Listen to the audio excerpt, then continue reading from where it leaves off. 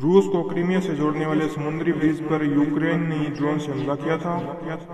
अब रूस ने हमले के 24 घंटे के भीतर इसके एक लेन को फिर से हल्के बाँध के लिए चालू कर दिया है। वहीं पुतिन ने यूक्रेन से इस हमले का बदला लेने की कसम खा ली।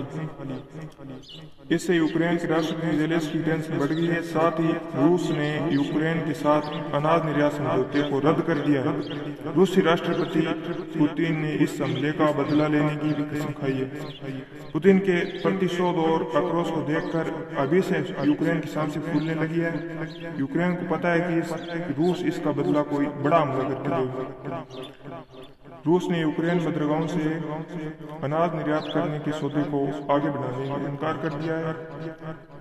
हालाँकि रूस ने इसे प्रतिशोध नहीं माना है। रूस ने क्रीमिया ब्रिज पर हमले के बाद अनाज निर्यात सौदे रद्द करके दुनिया में खलबली मचा दी। इससे कई देशों में खतरे बड़ा संकट पैदा हो सकता है। जय हिंद, जय भारत।